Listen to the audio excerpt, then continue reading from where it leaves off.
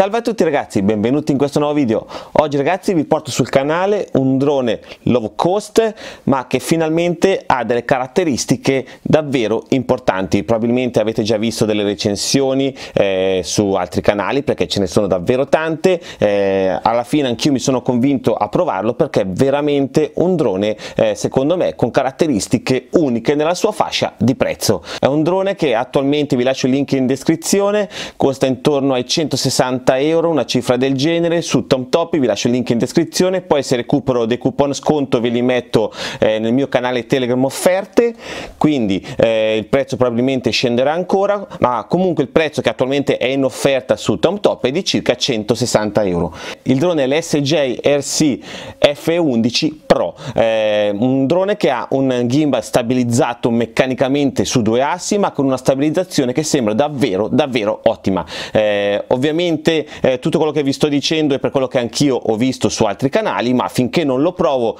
eh, non ci sbatto il naso di mio, ovviamente tutto quello che vi sto dicendo è per quello che viene dichiarato dall'azienda e per quello che comunque ho visto su altri canali, su altre recensioni di altri youtuber. Ma però io ci tengo a testare e provare di mio eh, sulla mia pelle se un prodotto merita davvero l'attenzione che sta eh, creando intorno a sé questo F11 Pro. Allora ragazzi, eh, il drone vi arriva in una scatola che è questa quindi scatola di cartone però all'interno eh, la cosa bella che vi arriva con una valigetta adesso andiamo ad aprirlo non ho ancora neanche tolto i sigilli del drone quindi è proprio un unboxing e prime impressioni eh, di un drone per come vi arriva a casa allora la scatola come vi ho detto è questa la togliamo. Abbiamo un sacchetto con una cerniera di plastica.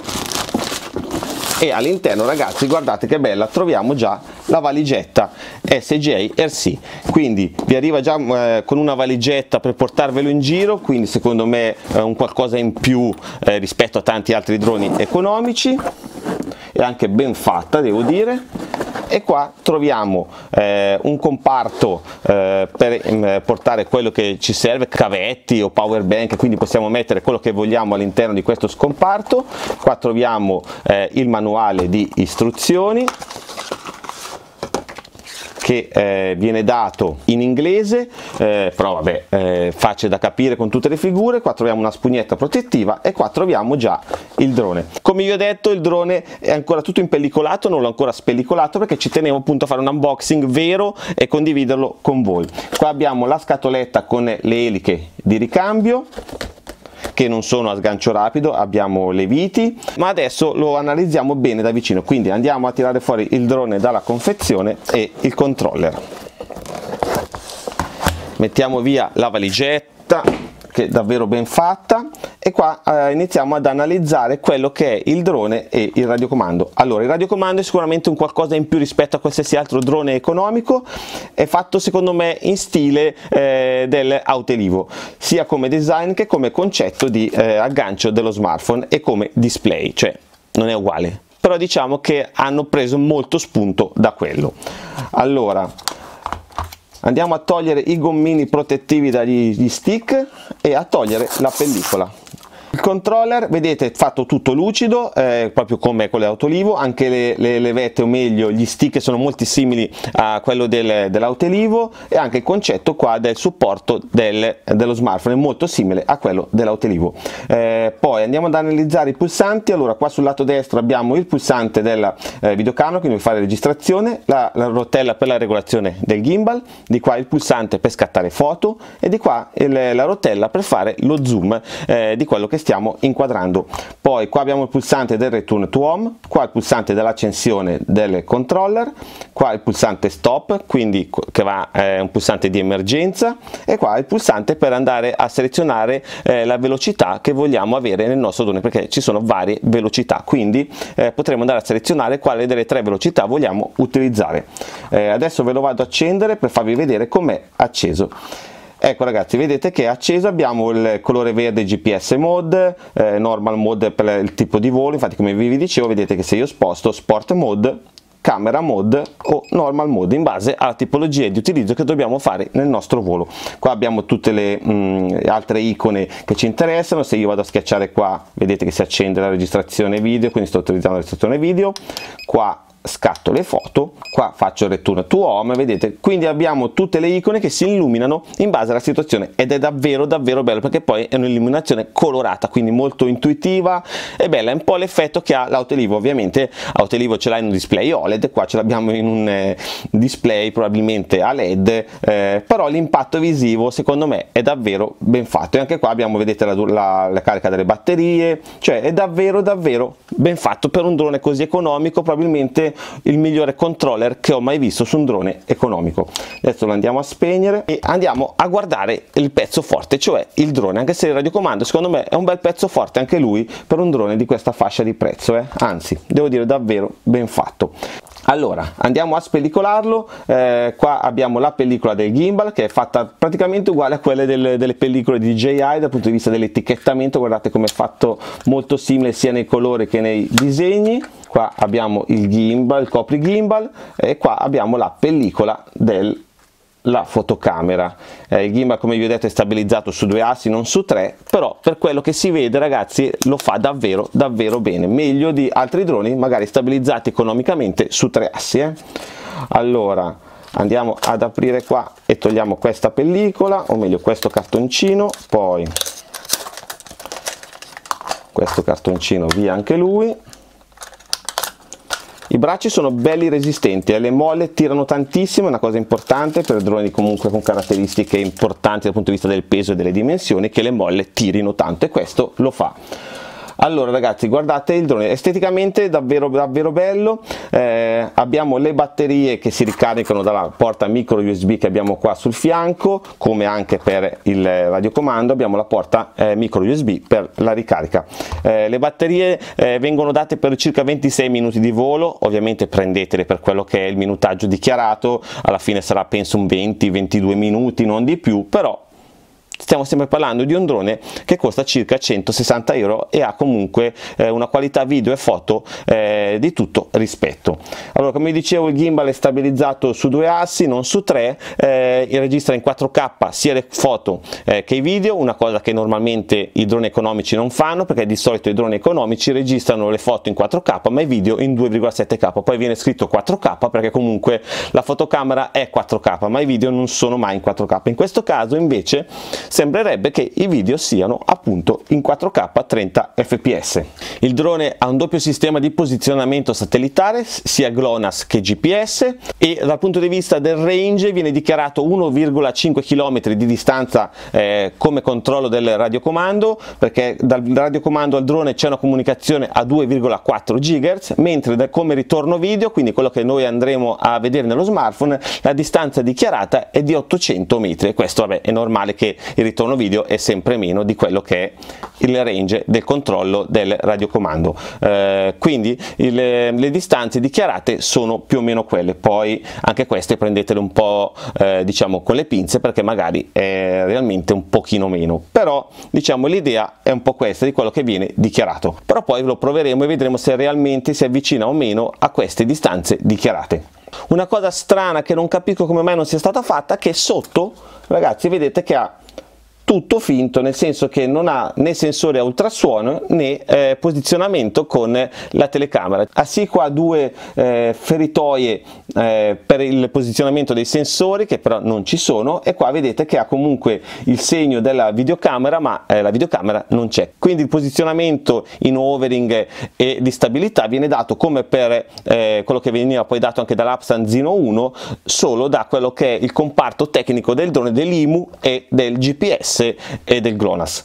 Eh, quindi staremo a vedere appunto anche come si comporterà in overing non avendo comunque questi dispositivi qua sotto. Eh, io questa cosa non la capisco mai, come mai questi droni economici, eh, è vero che sono economici quindi potrebbe essere anche quella la motivazione, però non penso che la telecamerina qua sotto eh, avrebbe influito così tanto nel prezzo, perché sono telecamere, poi soprattutto nei droni economici, mh, mm, telecamere che aiutano, ma sono veramente economiche.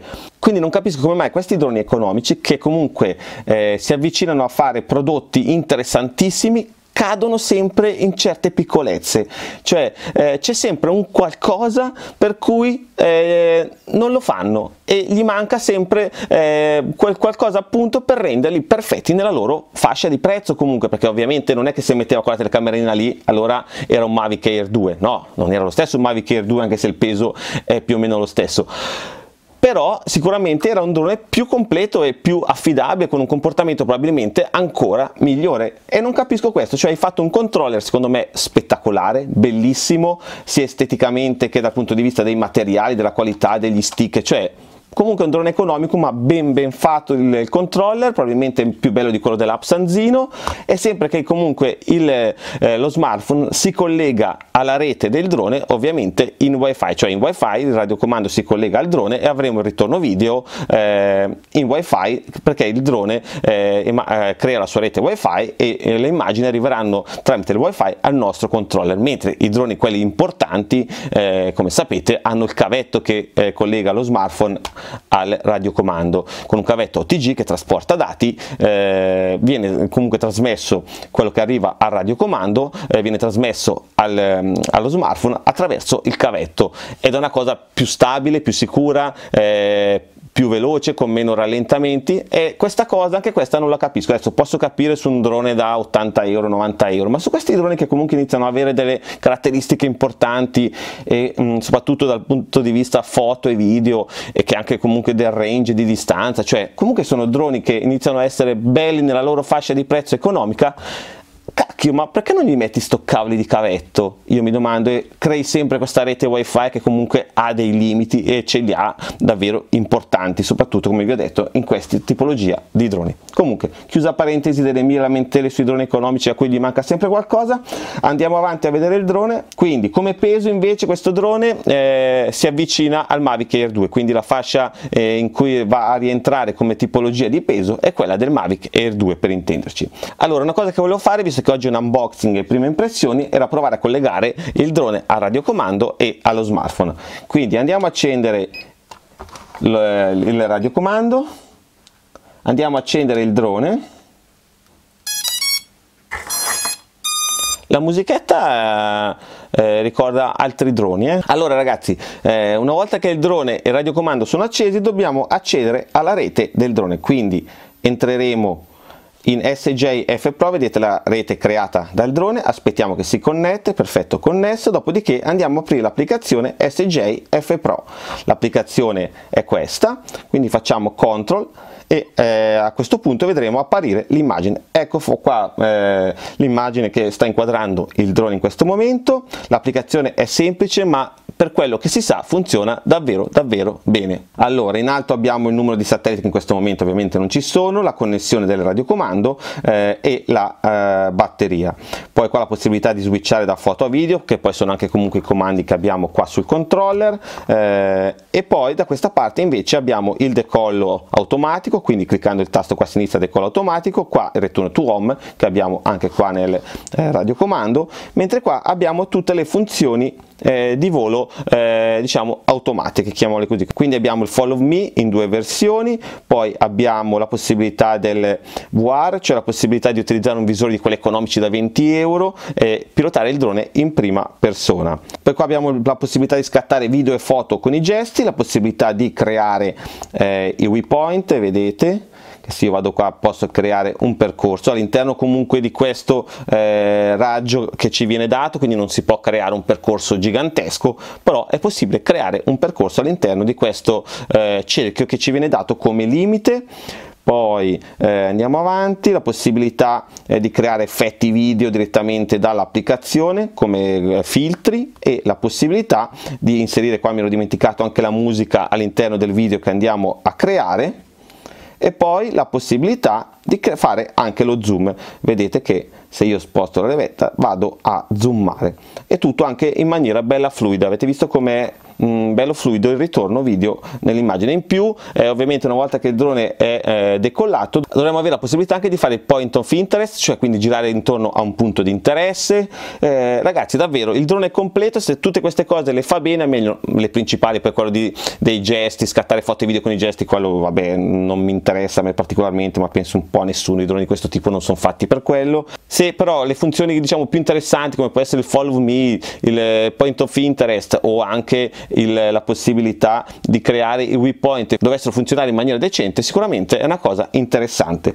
Poi cliccando i puntini qua a destra potremo andare a impostare vedete la distanza massima che va dal drone quindi 1500 metri l'altitudine massima che è 120 metri quindi potremo decidere noi quanto vogliamo far salire o meno il drone e return altitude e return to home quindi l'impostazione di quello poi qua abbiamo le informazioni del volo che abbiamo fatto e qua abbiamo eh, le regolazioni vedete del roll del pitch. Potremo andare a modificare quello che è il comportamento la sensibilità del controller verso il drone. Quindi ragazzi l'applicazione l'avete vista è semplice ma ben fatta ha tutto quello che serve e messo in maniera davvero super semplice. E in più tutte le, le funzioni e le opzioni le abbiamo anche qua eh, visibili nel nostro controller. Quindi ragazzi devo dire che il tutto per adesso mi ha davvero davvero davvero entusiasmato. Link in descrizione di Tom Top se volete dargli un'occhiata eh, e soprattutto ragazzi seguitemi sul mio canale Telegram Offerte dove se mi arrivano dei coupon lì li posterò sicuramente. Eh, quindi in attesa di testarlo perché comunque devo aspettare anche un meteo decente per provarlo perché sono davvero davvero curioso di vedere quanto